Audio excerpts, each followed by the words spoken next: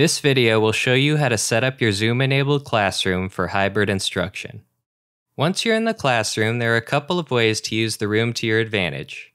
The system should be on when you enter the classroom, but if it's not, the system will automatically turn on as soon as you approach the teaching station. If you wish to not use the system, simply select the up arrow on the right side of the touch panel. The screen will go up and the projector will stop displaying. You can run Zoom from your own device, or if you are an RGL, the classroom's built in PC. Please be aware that general purpose classrooms do not come equipped with a computer.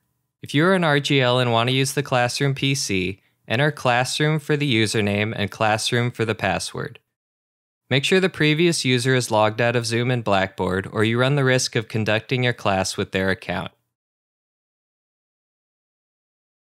Afterward, log into your own Zoom and Blackboard accounts.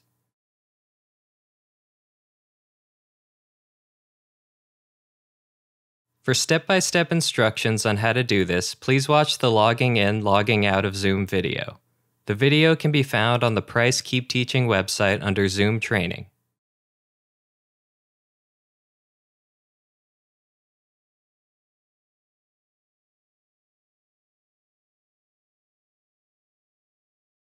If you're using your own laptop, make sure the Zoom application is downloaded and installed on your device. Start with setting up your laptop at the teaching station and opening up your learning management system. For our example, we will be using Blackboard.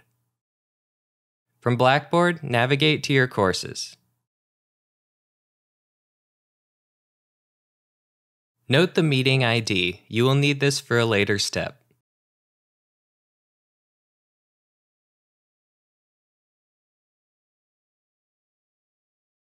Click the Zoom link that contains your scheduled class.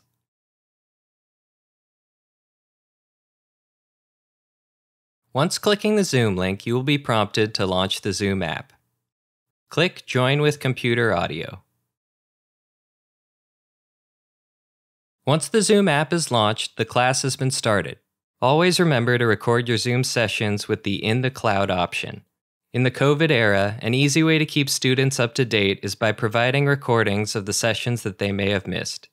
Make sure to mute your laptop's microphone, audio, and video as the room is equipped with a microphone, speakers, and camera. Once you have launched the Zoom session from your computer, you will have to make the classroom join the session. Head over to the touch panel and select the Zoom icon on the screen. Once selected, the Zoom Rooms app will be launched. On the left side of the screen, select the Join option and enter the meeting ID of your Zoom session. Once joined, promote the room to co-host on your device. The room must be set up as a co-host for the system to work. The classroom is equipped with everything to make your hybrid class a success. There is a microphone, speakers, and a camera installed in the ceiling. The camera is auto-zooming, so it will follow you along the front of the room. The microphone installed in the ceiling is only for students on the far end of the Zoom call, and it does not provide a voice lift in the classroom. Inform participants in the Zoom call to mute themselves when not speaking so that they are not coming over the room's installed speakers at the wrong time.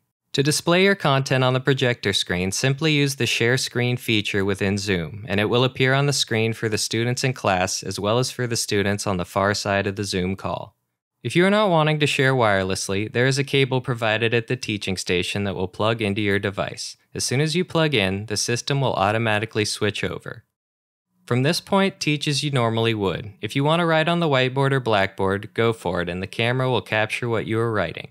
Be forewarned that it may be hard for students to see what is written on the far end of the Zoom call as the camera will auto-zoom on the professor's face. This can be adjusted in the Zoom Room's camera control menu. Once finished with class, select on your device End Meeting for All, and the Zoom capture will be ended. If using the built-in computer, make sure to log out of your Zoom and Blackboard accounts to prevent other users from using your class links.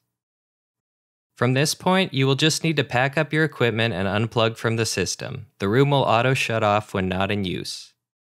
For additional help or information with general purpose classrooms, please visit usc.edu/spaces. For RGL-based classrooms, email us at oedm at price.usc.edu.